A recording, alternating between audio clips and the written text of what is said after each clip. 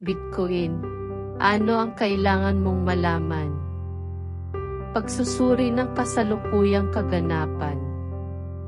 Sa krisis sa US banking, maraming debate ang pumapalibot sa kung gaano talaga ka maaasahan ang pag-iwan ng iyong pera sa isang bangko. Ang mga international na user mula sa buong mundo mula sa mga bansang tulad ay nawalan ng pera nang bumagsak ang Silicon Valley Bank as isa. Lalo pang nagpapalala sa issue, ang mga nangungunang executive ay nagbenta ng mga stock na may kabuang milyon-milyong dolyar noong huling bahagi ng Pebrero hanggang bago ang pagbagsak isa. Habang ang mga gumagamit at publiko ay nag-iipon ng mga pagkalugi, ibinibenta ng mga nangungunang ehekutibo upang mapagtanto ang mga pakinabang. Pagkatapos, pagkatapos ng mga tagumpay na ito, pumasok ang NITAS Federal Government upang pagaanin ang sitwasyon sa pamamagitan ng pangakong ipiyansa ang mga customer ng SEE, ngunit sa isang tiyak na lawak lamang. Maaaring sabihin ng ilan, habang nanalo ang bangko, ang mga customer ay ang nakakaipon ng lahat ng pagkalugi, dalawa. Ang istruktura na ito ay tila medyo sira. Mukhang ang buhay ng mga nagbabayad ng buwis sa USA ay maaaring i-flip ang bill para sa pagbagsak ng bangko, pagpapaunlad ng isang istruktura kung saan tayong lahat ay natatalo kapag ang isang bangko ay bumagsak. Huwag mag-alala, habang ang mga kawani na naglilingkod sa bangko ay maaaring mawala ng trabaho bukod pa rito natatamasa ng mga nangungunang executive ang matatarik na payout sa pamamagitan ng pagbibenta ng kanilang mga stock share na humahantong sa anumang pagbagsak. Nangangahulugan ito, sa halip na bayaran ang kanilang umaasa sa mga kliyente. Umaani sila ng mga kita na mukhang hindi bababa sa kaunting unethical. Ano ang Bitcoin? Ang Bitcoin ay isang desentralisadong digital currency na tumatakbo ng walang sentral na bangko o nag-iisang administrator. Ang presyo nito ay pabago-bago at maaaring magbago ng malaki sa loob ng maikling panahon. Ngunit nakikita ng ilang tao na ito ay isang mapanuksong dahilan para. Maaari kang bumili ng mababa ngayon para lamang makakuha ng pinakamataas na kitabukas. Mga natamo na dati nang lumikha ng maraming multimillionaire sa loob ng pinakamaraming pinutol na time frame.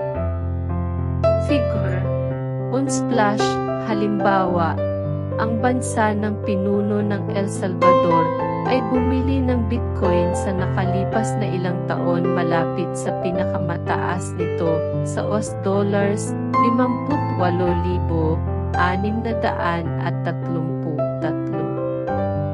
Ano man ang kanilang mabigat na pagkalugi noong 2000 at 22 at 2000 at 21 na may labis na sigasig ang El Salvador ay bibili ng isang Bitcoin ayon sa Pangulo ng Bansa na si Nayib Bukele, apat. Ito ay parang maraming bullish na pag-uugali na hindi lamang sa pagtaas. Ngunit patuloy ding pinananatili ng marami na lubos na naniniwala sa halaga at pagkalat ng sistemang pinansyal ng Bitcoin na ito. Ang Bitcoin ay may malaking panganib lalo na para sa mga bagong mamumuhunan. Ngunit ang mga taong namumuhunan sa kilalang stock market ay may katulad na mga panganib. Hanggang sa naiintindihan mo ang system at gawin ang iyong pananaliksik, maaaring maging mahirap ang mga pakinabang. Maliban kung syempre bumili ka sa ibaba kung saan ang mga panganib ay nababawasan ng potensyal para sa mga pakinabang. Siguraduhin lamang na mamuhunan sa maaasahang mga asset ng krekto. Sa edukasyon, ang iyong mga panganib ay mapapagaan hanggat maaari ang iyong mga natamo ay maaaring hindi mabilang at malawak dahil sa tamang diskarte at time frame. Walang garantiya na ang halaga nito ay pahalagahan sa paglipas ng panahon. Figure, unsplash, iba pang mga dahilan na nabigo sa amin ang mga bangko. Kilalang kilala na ang mga bangko ay nag-aalok ng mas mababang kita sa mga pamumuhunan kaysa sa iba pang mga uri ng pamumuhunan. Halimbawa, ang isang CD ay karaniwang nakakakuha ng mas mababang kita kaysa sa stock market o real estate habang nilalabanan din ang mga panganib ng inflation na laganap ngayon. Sa paglipas ng panahon, maaaring masira ng inflation ang halaga ng iyong mga pamumuhunan. Ang mga bangko ay karaniwang nag-aalok ng mababang mga rate ng interes na maaaring hindi makasabay sa inflation upang ang iyong pera ay maaaring mawalan ng halaga sa paglipas ng panahon. Ang mga bangko ay naniningil din ng labis na bayan. Ang bangko na binibigyan ng personalized na payo ay kadalasang ibinibigay lamang sa isang halaga at maliban kung ang mga tagapayo sa pananalapi ay mga katiwala, maaaring hindi nila nasa puso ang iyong pinakamahusay na interes. Gayunpaman, ang mga fiduciaries ay kinakailangan lamang na isaisip ang iyong mga pinakamahusay na interes hindi sila kinakailangan na magbigay sa iyo ng pinakamataas na posibleng kita. Sa halip maaari pa rin silang maging karampatang, mababayaran, at mag-alok lamang sa iyo ng kaunting kita.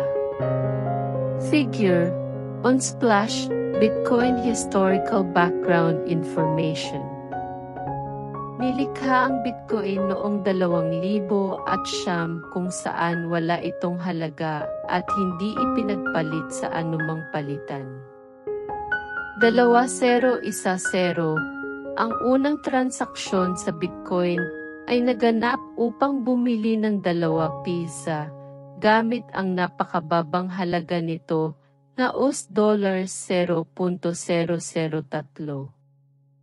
2011, ang presyo ng Bitcoin ay tumaas mula US dollars 0.30 hanggang US dollars 31 noong Hunyo bago bumagsak sa US dollars 2 noong Nobyembre. 2012, ang presyo ng Bitcoin ay stable na may mababang US dollars 4 at mataas na US dollars 13. 2013, ang presyo ng Bitcoin ay tumaas sa US dollars 200 at 60 noong Abril bago bumagsak sa US dollars 45 pagkatapos ay muling lumundag sa US dollars 1,200 at 42. 2014 na, bumaba ang Bitcoin sa US dollars 300 sa pagtatapos ng taon.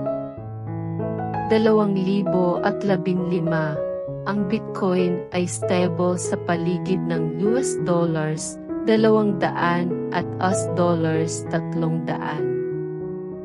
2016 na, umakyat ang Bitcoin sa US dollars 1,000. 2017, ang Bitcoin ay tumaas mula sa humigit kumulang US dollars 1,000 hanggang sa halos US dollars 20,000. 2018, bumagsak ang presyo ng Bitcoin sa humigit kumulang US dollars 3,000 sa pamamagitan ng tuloy-tuloy na pagbaba. 2019, ang Bitcoin ay stable. Humigit kumulang US dollars 3,000 at US dollars 14,000. 2020, ang Bitcoin ay tumaas sa bago sa lahat ng oras na pinakamataas na US dollars 29,374. 2021,